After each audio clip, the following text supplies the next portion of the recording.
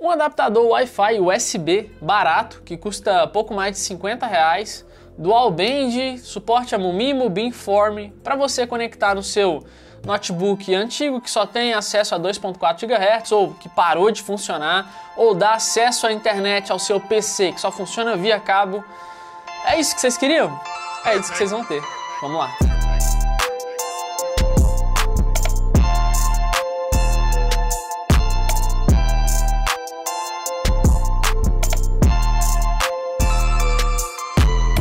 Ser dual band, ele é Wi-Fi 5 em 2.4 GHz, pode chegar a uma velocidade teórica de até 400 megabits por segundo e em 5 GHz até 867 megabits por segundo. Abrindo a embalagem, nós vamos ter aqui também, ó, um mini CD que contém o drive de instalação e ele é compatível com Windows, Linux e Mac.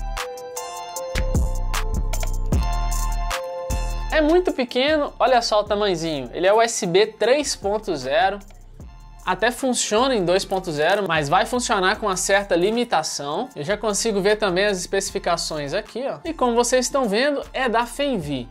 Mesma marca que eu já trouxe aqui, aquela placa de rede sem fio para computador e também aquele outro adaptador USB Wi-Fi 6, AX1800. Então é de uma marca que de certa forma eu já conheço e sei que os produtos funcionam bem. O meu notebook velho de guerra já está aqui, ó, tem acesso somente ao Wi-Fi de 2.4 GHz.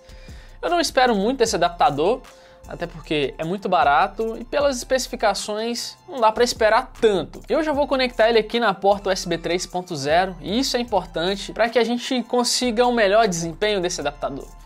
Vamos lá? E ele já está aqui piscando e vamos conferir. Estou utilizando aqui o Windows 10, abrir central de rede compartilhamento, vem aqui ó, alterar as configurações do adaptador e olha só ele aqui ó, já instalou automaticamente, Realtek. Essa conexão qualcomm é da placa de rede sem fio do notebook. Vou fazer o seguinte, eu vou desativar então já estou conectado aqui na rede 2.4 GHz. Veja que não aparece nada aqui ó, de 5 GHz e vamos testar.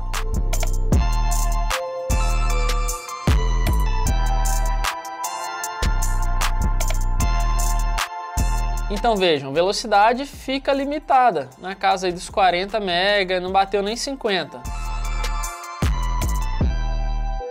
E vale ressaltar que estou utilizando o Xiaomi AX3000. Eu vou habilitar novamente o adaptador USB, agora vou desabilitar a placa de rede do notebook. Só que antes de testar, botão direito em cima de este computador, gerenciar. Eu venho aqui em gerenciador de dispositivos, vejo aqui está a conexão que eu desabilitei e aqui está o adaptador USB. Dois cliques, driver. Olha só, a versão do drive é essa. O que, que eu vou fazer agora? Pegar meu super drive de CD e DVD externo para a gente instalar o drive que veio no adaptador. Por quê? Pode ser que a fabricante tenha enviado drivers mais atualizados. Se realmente ela tiver feito isso, eu disponibilizo para vocês em download. É só clicar aqui e vamos executar o instalador. Que você consegue selecionar o sistema e aí aquele procedimento simples de instalação.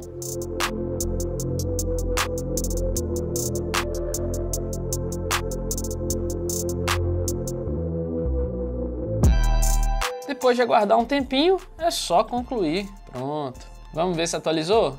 Driver. Esse era o antigo, ó, 1030.38 e esse é o novo, ponto .40. Então sim, nós temos drivers atualizados aqui. E algo que eu já notei é o seguinte, apareceu aqui essa espécie aqui de gerenciador. Então consigo ó, visualizar algumas informações da rede que eu estou conectado. Que em geral tem o perfil, tem algumas opções aqui embaixo, todas as redes disponíveis aqui por perto, ó, e ele captou muitas redes, então isso é um bom sinal de alcance, né? Status, estatística. Se você adquirir, depois você pode explorar isso melhor. Então vou deixar o link para download aí no primeiro comentário fixado. E vamos aos testes. Primeiramente na rede 2.4 GHz mesmo. Veja que agora já tem acesso a 5 GHz. Vamos lá, 2.4.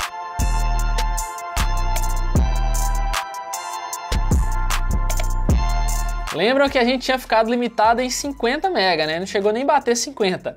E olha isso, galera, em 2.4 GHz está batendo mais de 100 MB. Impressionante para um trequinho desse tamanhozinho aqui, ó. Arredondando, tivemos aí 103 MB em download, velocidade máxima.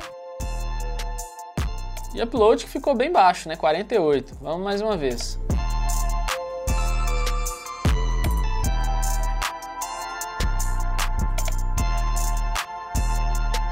Ok, 102.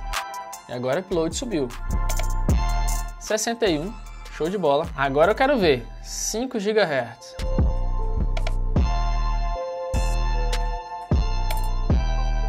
Não sei se vocês escutaram, mas deu aquele som de que estava conectando o adaptador. Então, aparentemente isso é algo padrão dele, não sei se é padrão de todos os adaptadores, mas sempre que eu me conecto em uma nova rede, acontece isso. Ó. Vamos voltar para 2.4. Viu? Fecha o gerenciador, dá o barulho como se eu estivesse conectando ele, mas aí depois tudo funciona muito bem. Ok, conectado em 5 GHz. Vamos lá.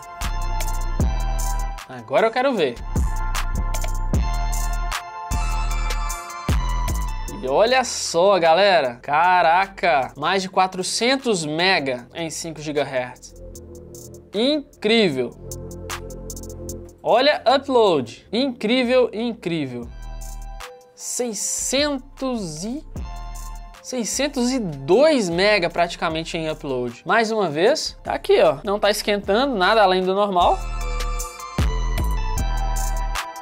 E é isso mesmo. 458 em download e vai ficar acima de 500 também. E 571 em upload, algo que custa no momento que eu gravo esse vídeo 58 reais. Até então tá valendo muito, muito a pena. Agora vamos testar o alcance que eu já tô bastante curioso eu vou comentar tudo com vocês. Mas antes, como eu sempre gosto de falar aqui, pessoal, quando lidamos com internet, Wi-Fi, a segurança precisa vir em primeiro lugar. Então, se você quer ter uma proteção melhor para o seu PC, smartphone, proteção da sua privacidade, transações bancárias, você precisa do Kaspersky, um dos melhores antivírus do mercado. E eu vou deixar aí na descrição para vocês um link para adquirir com 50% de desconto. E se usar o meu cupom MAXDICAS, você garante mais 10%. Então, depois de assistir, confere o link aí na descrição.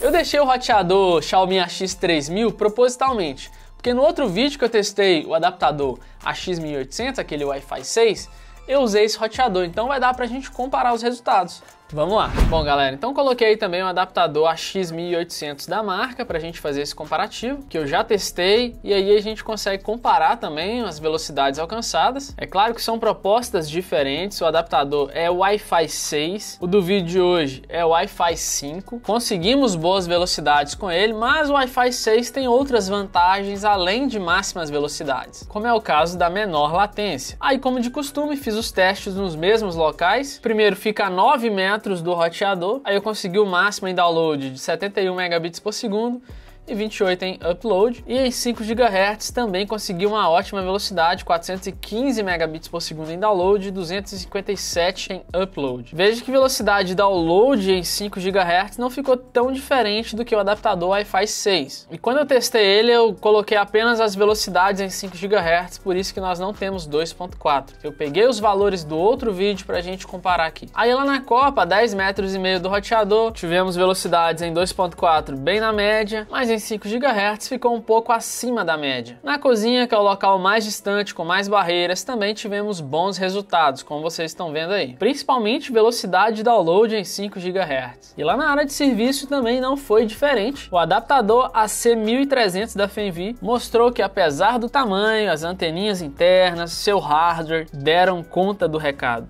É, pessoal, esse pequeno adaptador realmente me surpreendeu, viu? Então depois desses testes aí, se você ainda não fez isso, sapeca o like, deixa o joinha aí e se inscreve no canal se ainda não é inscrito, porque toda semana nós temos vídeos aqui relacionados à tecnologia. E volta a dizer, pelo preço eu não esperava isso tudo dele não, tá? Mas até que atendeu bem. Uma coisa que eu notei em relação àquele adaptador Wi-Fi 6 é que lá eu tive mais estabilidade, né? menos latência, como já expliquei. Não que aqui ficou ruim, os resultados que eu tive com ele ficaram satisfatórios, mas quando você usa um roteador Wi-Fi 6 com um adaptador que tem suporte Wi-Fi 6, a pegada é diferente. Ah, e se você ficou curioso com o desempenho dele na USB de 2.0, confere aí. Esse foi o resultado em 2.4 GHz, e esse outro foi o resultado em 5 GHz. E como esperado, o resultado nas duas bandas ficaram inferiores se comparado ao adaptador sendo utilizado na porta 3.0. E o que eu posso dizer para finalizar é que sim, vale muito a pena adquirir. Excelente custo-benefício, entregou um bom desempenho aqui na minha rede. Só não vou conseguir falar sobre a durabilidade, porque comecei a usar ele agora. Não notei, por exemplo, nenhum aquecimento além do normal. Eu vou deixar aí na descrição para vocês o link para adquirir com o melhor preço. O meu veio lá do AliExpress, eu importei ele junto com o adaptador Wi-Fi 6, não fui taxado. É um produtinho muito pequeno, leve, barato. É quase impossível de você ser taxado em um produto como esse e o frete ainda é grátis. Compartilhe esse vídeo com aquele amigo seu que tem um notebook, um PC com Wi-Fi muito ruim e lembre-se, para você ter bons resultados, assim como eu tive, você também tem que ter um bom roteador. E pode maratonar os vídeos aqui do canal, porque nós somos especialistas nisso e você vai encontrar um roteador que caiba no seu orçamento. Isso se você ainda não tem. Acesse todos os links aí na descrição, vou deixar aí do adaptador, do antivírus, grupo, canal no Telegram, tem o nosso blog também com muito conteúdo, tem muita coisa para você conferir aí, tá? Aqui embaixo você confere outros vídeos de unboxing e review e aqui em cima o último vídeo do canal. Eu sou o Max e essa foi mais uma dica para vocês.